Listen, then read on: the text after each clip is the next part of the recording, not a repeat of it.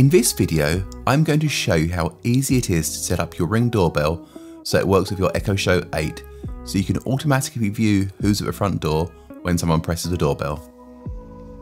The first thing you need to do is open the Alexa app. Once open, press More and select Skills and Games. From here, search for Ring. Select a Ring skill and press Enable to use. It will then ask you if you want to link your Amazon and Ring accounts, so I'm going to press Agree and Continue. And as you can see, it's been successfully linked, so I'll press Next. It's now looking for devices, so at this point it's looking for my camera. It's found one camera, so I'll press next. You can choose what room it's in. I'm going to skip this for now. And as you can see, my blue door, which is my ring camera, is set up and ready to use. So I'm going to press done. If you look under devices, you can now see the blue door. So I'm going to select it. Press the gear icon in the top right hand corner of the screen you now need to select your announcement devices.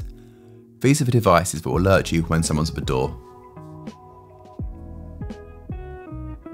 For now, I'm just going to select my Echo Show 8 3rd Gen.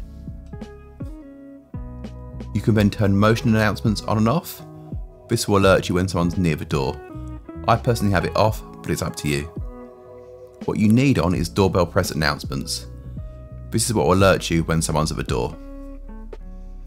You can choose different doorbell sounds.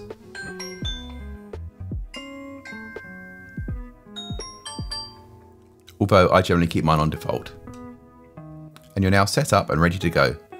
So let's test it to see if it works. Someone is at the blue door. This is what it sounds like when someone talks to a doorbell. To talk to the person at the door, simply press the microphone button.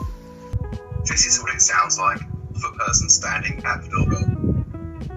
To view the camera feed at any time, just ask, Alexa, show me the blue door.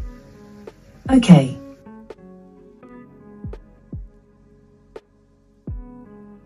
To exit, touch the screen and go back. You can also view the camera feed by scrolling down from the top of the screen Go to Smart Home. Select cameras and select your doorbell. I hope you found this video helpful. If you have, please make sure you like and subscribe as it really helps the channel. Thanks for watching. Bye.